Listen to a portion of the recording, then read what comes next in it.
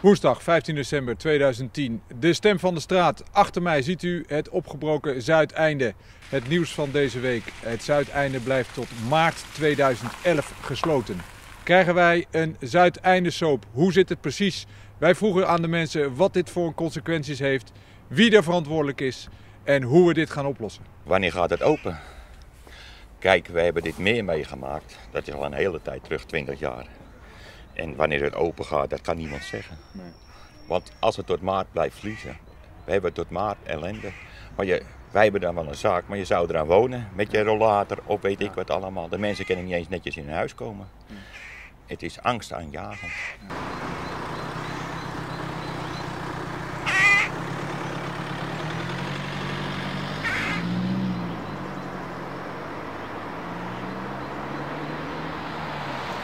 Ik heb begrepen dat het tijdelijk open gaat omdat ze een tijdelijke asfaltlaag eh, gaan neerleggen. Dat is niet waar. Is dat niet waar? Nee. Oké, dat stond eh, laatst op de lokale omroep volgens Ja. mij. eh Ja, dat gaat de, niet door. de, de wethouder krijgt het niet voor elkaar, het geld. Oh, Oké, nou ja, dat is flink balen. Ja. Maar ja, de weersomstandigheden doen natuurlijk ook geen goed eraan. eh. nee. Nee. Ja, het is, het is behelpen. Ik kan, ik kan niet meer kijken wat voor handel ik nodig heb. Nee. En ik durf altijd wel te gokken, maar mijn gok is over. Het is lekker rustig. Want er rijdt lang zoveel verkeer niet langs als dat er eerst reed. En ik ben blij dat de oplossing niet is dat er een eh, asfaltlaag opkomt. Zoals ze dus eerst van plan waren. Dat, eh, er zou een, eh, ja, een tijdelijke asfaltlaag opkomen. En er zou de stoep eh, zou dus eigenlijk niks aan gedaan worden. Er zou de houten plank opkomen. Maar wat krijg je dan? Dan krijgen de mensen dus weer hetzelfde race-idee.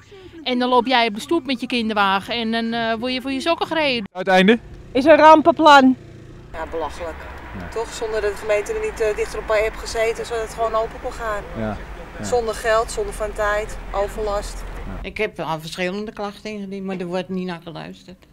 Dat geven ze niet om. Ik heb vanmiddag nog gebeld. Want iedereen had alweer een brief gehad dat, dat het gesloten werd. En wij niet. Ja, nou, hij zegt, de raad heeft het besloten. Dus eh, ik zeg, nou, daar kan je er niks aan doen. Ik zeg, maar ik, was, ik zeg, stuur... Ik zeg, eh, je geeft het maar aan de raad door dat we zwaar onbeschoft behandeld zijn. Met de bus moet je allemaal zo om. En met de fiets is dit gewoon niet te doen. Met de scooter, hij, hij doet het wel, maar dat vind ik niet te doen. Nee, dat vind ik niet te doen. Dat vind ik sowieso irritant, ja. Nou, ik vind het wel kut, ja. Zeker weten. U, u heeft heel veel werkers gezien, hè? Ik heb heel veel werkers gezien, ja. Ja. Nou, werkers niet. Nee. Heel veel eh, met hun handen in de zak.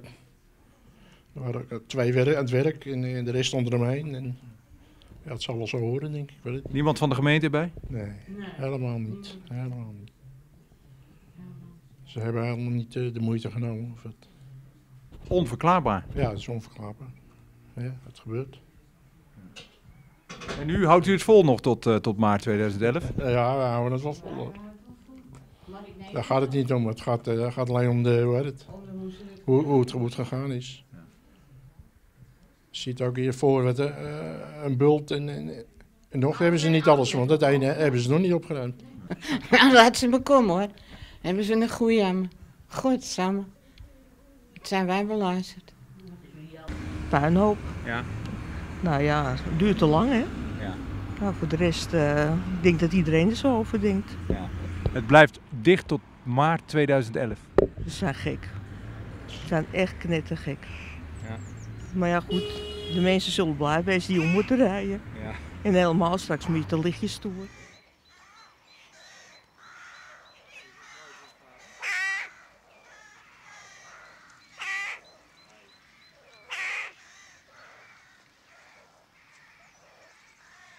Maar ik ben zo zat van de gemeente. Ik ben het beu.